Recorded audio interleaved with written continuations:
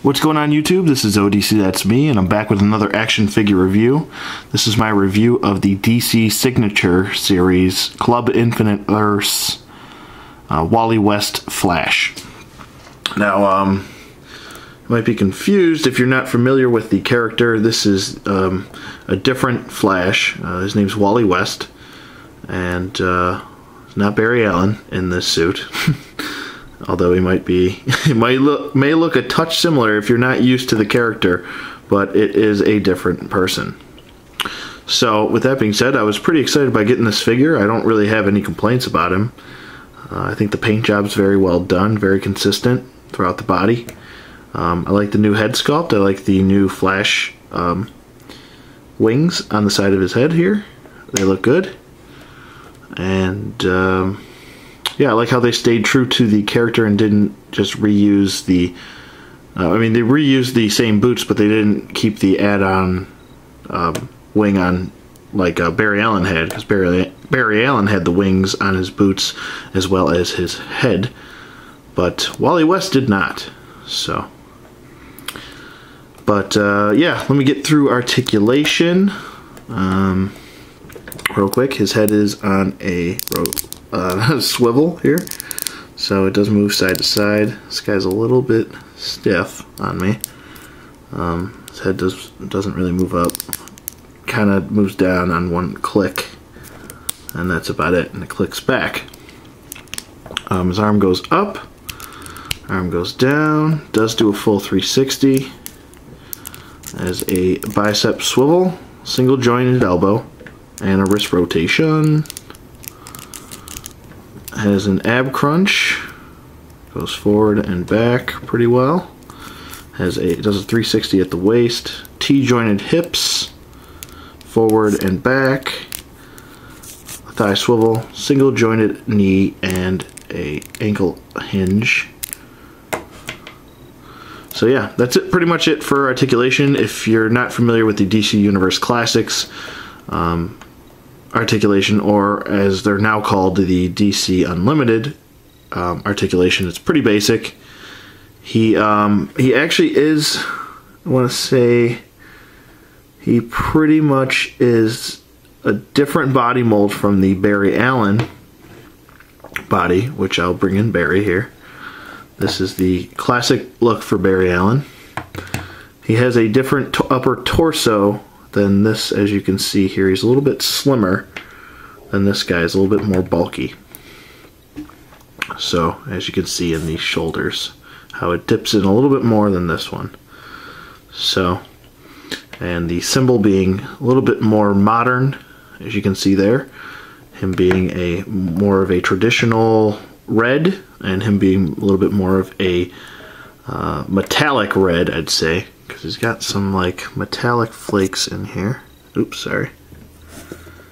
In there and on the back. It's a little bit of, of a, a metallic or a metallic look to him. I keep saying metallic. Metallic, metallic, metallic. Metallic, metallic, metallic. And his, um, yeah, instead of yellow, we have gold here, which is a very nice gold. Stands out well. He does have the same boots as Barry Allen here with the tread on the bottom, which fits well. And those are the wings I was talking about in his boots, if you're not familiar with this figure or character.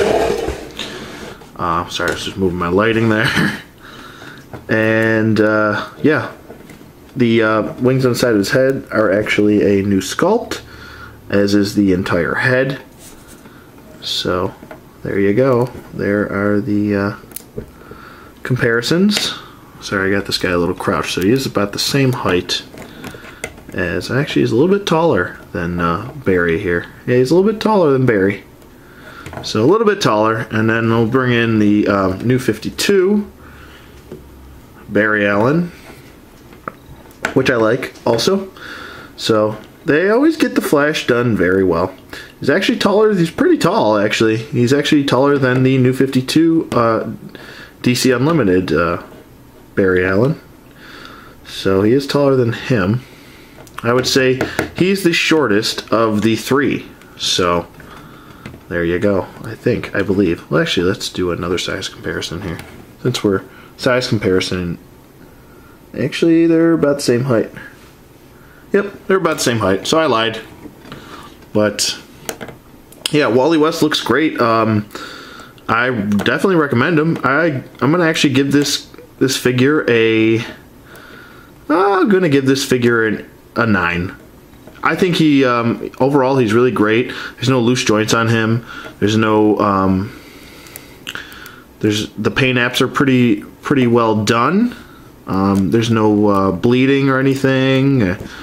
Everything looks pretty crisp on him. Um, now it's completely up to you if you think um, he's worth $25 plus shipping if you have the subscription. And if you don't, you probably might pay around $30 for this guy when he does come out. Uh, that's what I would assume. I'm not, I don't know that for sure, so don't quote me. But I would assume usually these guys run around 30 bucks on eBay or secondary markets. So, do I recommend him? I absolutely do, and I recommend the uh, these other flashes here. Um, they're all very well done figures, and yeah, that's pretty much all I have to say about um, Wally West here. Um, yeah, go out and get them if you want them. If you want them. But yeah, that's pretty much all I have to say about uh, Wally West, the Wally West Flash. Yet again, this is my review of the DC Signatures subscription Club Infinite Earths Wally West Flash.